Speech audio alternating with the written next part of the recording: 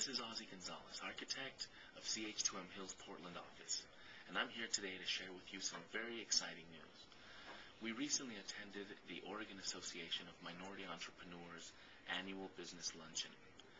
And not only did I have the honor of hosting the business luncheon and being the first one ever to host outside of the OAME organization, but I was also very happy to be surprised by receiving, on behalf of CH2M Hill, the annual Business Corporate Award.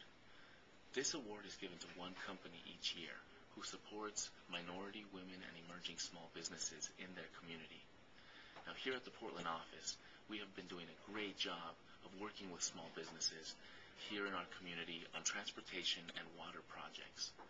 And this is again a big part of our relationship with the local economy and with the OAME business community. We serve on their board of directors.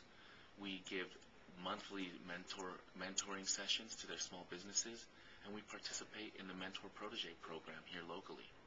It's a great way in which we at CH2M Hill actually do support the communities in which we work.